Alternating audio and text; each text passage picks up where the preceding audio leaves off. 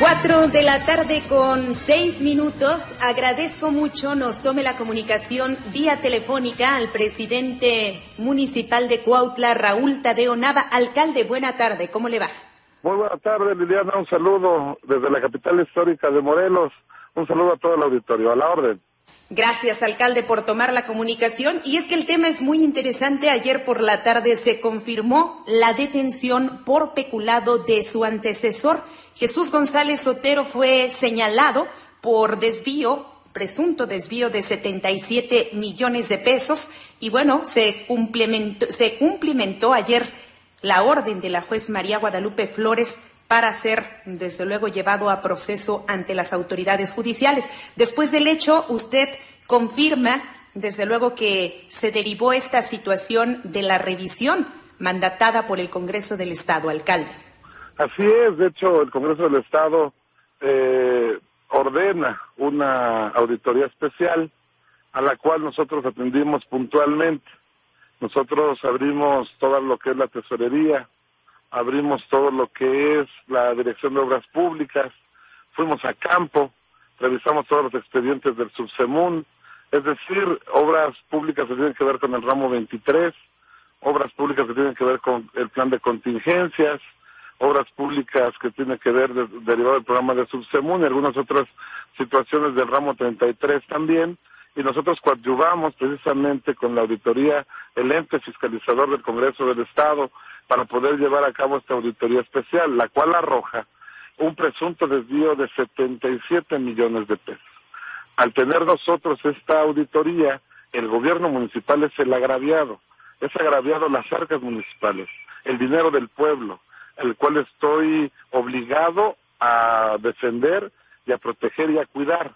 Por lo tanto, este gobierno municipal presenta la denuncia ante la Fiscalía General y ratifica la denuncia ante la Fiscalía Anticorrupción y precisamente se obsequia esta orden de aprehensión. Y bueno, el día de hoy ya se dio la audiencia y el exalcalde pues simplemente estará ya eh, en la cárcel con, con la activación de su libertad de manera preventiva, al menos por seis meses en lo que el proceso está vinculado al proceso.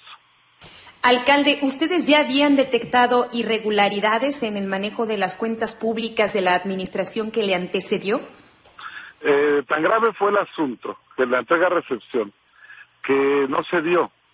Y e imagínense qué grave es la situación que en la administración que encabezó 2016-2018 tuvimos que iniciar con saldos estimados tuve que solicitarle al Congreso del Estado y al ente fiscalizador esa autorización porque no se entregó cuenta pública del año 2015. Por lo tanto, no podía iniciar un ejercicio fiscal, yo no tenía saldos con qué de inicio y tuve que iniciar con saldos estimados.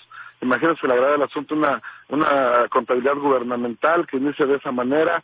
A partir de ahí nosotros nos, nos dedicamos a hacer una revisión completa y hay una premisa en este gobierno de actuar con transparencia y actuar con legalidad.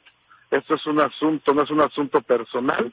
Mucha gente desconfiaba de que al ser un gobierno emanado del Partido de la Revolución Democrática, y Jesús González Sotero también fue eh, propuesto por el Partido de la Revolución Democrática, iba a haber una complicidad, iba a haber que lo taparan. La gente está cansada, está cansada de los actos de corrupción, la gente está cansada en Cuautla de que ha sido deteriorada, de que ha sido saqueada, y creo que es un ejemplo de legalidad y de transparencia en la rendición de cuentas.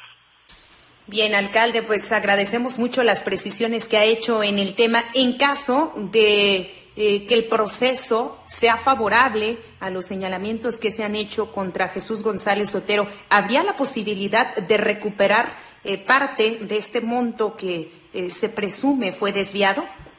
Sí, bueno, nosotros vamos a, por supuesto que son las autoridades judiciales, les corresponde ahora dar esa resolución. Nosotros vamos a seguir aportando las pruebas que sean necesarias y creo que por, nosotros vamos a solicitar, pues, que sea eh, de alguna manera devuelto o repuesto ese dinero si es que se comprueba este desvío. Al menos hoy eh, el juez dio, la razón al, al Ministerio Público a, la acusatoria que hace el fiscal anticorrupción y hoy ya está vinculado a proceso y tiene prisión preventiva. Alcalde, si me lo permite, queremos mantener la línea de comunicación abierta con usted para dar seguimiento a este asunto.